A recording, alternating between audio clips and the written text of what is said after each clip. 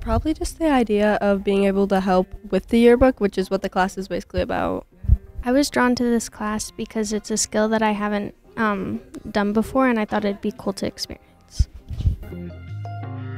Probably like being able to be relied on, and you should be good at like photography too, because that's a good skill.